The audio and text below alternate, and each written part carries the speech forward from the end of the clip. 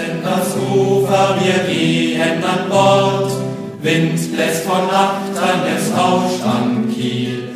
An der Oregon Coast angekommen, freuten sich so manche vergebens, erst zu sein und fühlten sich auch gleich wie Kolumbus. Als sich der Dunst verzog, durften wir wie fast jeden Abend eines der beeindruckendsten Naturschauspiele erleben, die uns Gott mit auf diesen wunderbaren Planeten gab, betrachten. Einen Sonnenuntergang. Im Wechsel von Wald, Steilküste, Wiesen und Bächen hielt diese Tour wohl die meisten Überraschungen für uns bereit.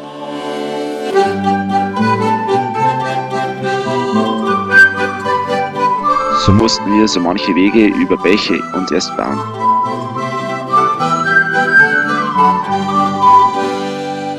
Möwen hoch über uns singen ihr Lied. Oder wie hier uns selbst ein Floß bauen. Und das nicht für uns, sondern für unsere Sachen.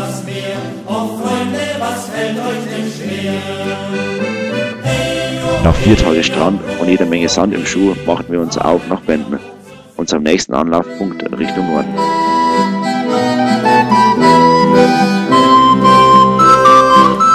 Dank einer sehr hilfsbereiten und sehr höflichen Frau fanden so manche auch noch Zeit für familiäre Besuche.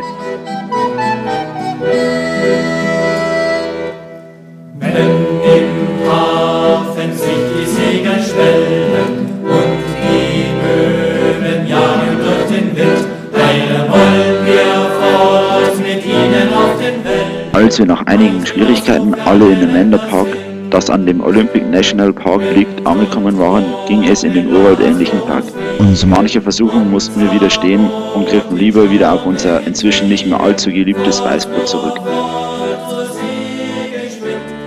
Als wir die anfänglichen Anlaufschwierigkeiten überwunden hatten, ging es wieder weiter wie die letzten dreieinhalb Wochen. Natürlich perfekt. Dennoch hatten wir ein laues Gefühl im Magen, denn es war schließlich die letzte Tour.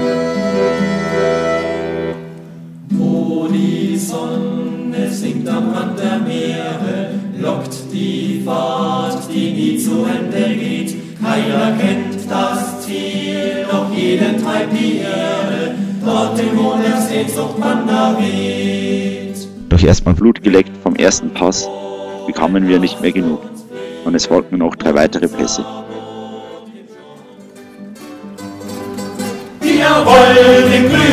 Wald ein freies Leben führen. Und wer da hat ein frischen Mut, frohes Herz und junges Blut, der soll mit uns marschieren, fallalalala, soll mit uns marschieren, fallalalala, soll mit uns marschieren.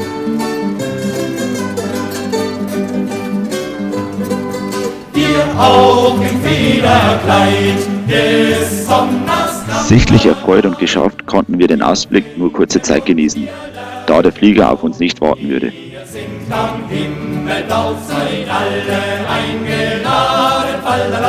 Am Abend durften wir an unserem Lagerplatz mit sehr zutraulichen Rehen noch die Bekanntschaft machen. So geht's im lieben Kaufdorf, Sonnenschein und Regen. Mit der Morgensonne ging es am 27. August dann wieder talabwärts.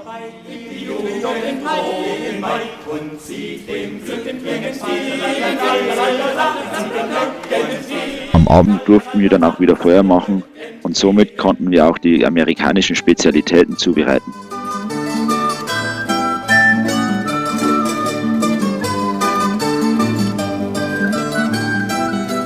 Es kam uns so vor, als hätten wir es geplant. Gerade als wir aus dem Olympic National Park gingen, trafen wir Camper, die zur nächstgrößeren Straße fuhren mussten.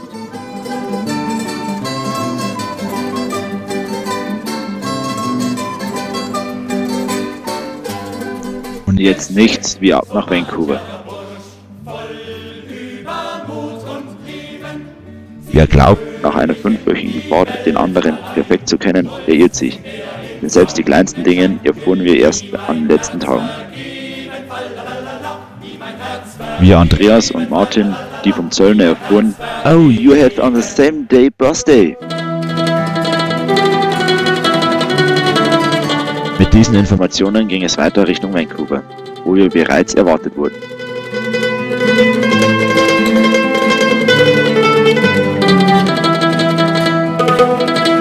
Dort zeigten uns unsere ausgewanderten deutschen Freunde die Sehenswürdigkeiten von Vancouver.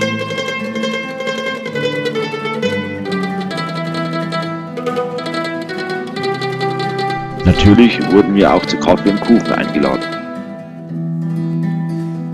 Und mit so manchen Fahrtenliedern konnten wir so manche Jugenderinnerungen wecken. Am Abend des 30. August durften wir uns dann bei unseren Gastgebern bedanken.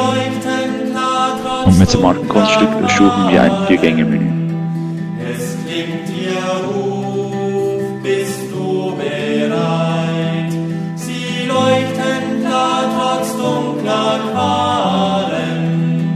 Und dem Teller zufolge dürfte es auch allen geschmeckt haben. Doch dann, nach schier fünfwöchiger völliger Freiheit, holte uns die Zeit schließlich ein. Und es hieß nun letztlich, nehmt Abschied, Brüder.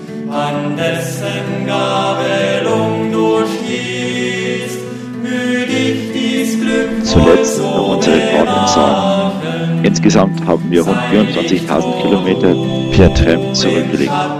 Pro Person ca. 3.000 Kilometer. Rund 400 Autos haben uns mitgenommen. Unsere Fahrtenkasse hat rund 400 Dollar in Bar geschenkt bekommen. Nicht mit inbegriffen die zahlreichen Einladungen zum Essen.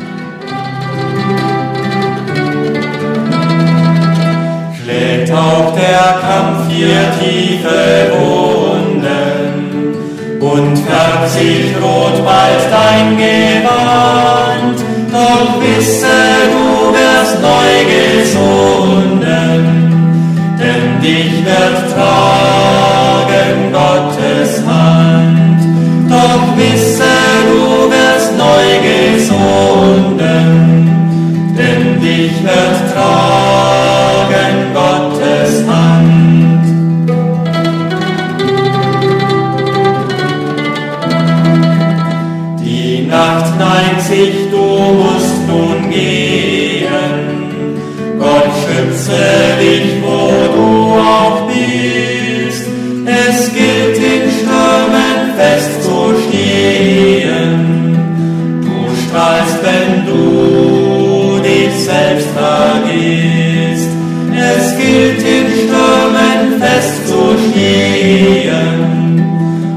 strahlst, wenn du